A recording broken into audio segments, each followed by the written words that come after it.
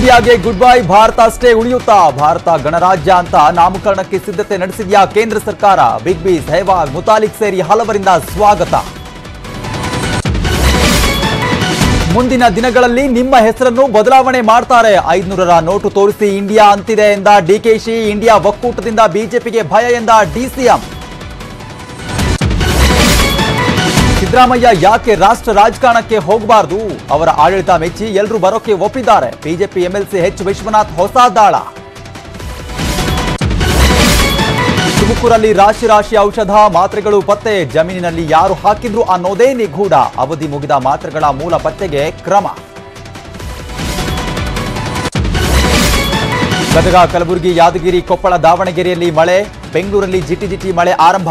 ಭರದ ಚಾಯಿಯಿಂದ ಹೊರಬರುತ್ತಾ ಕರ್ನಾಟಕ.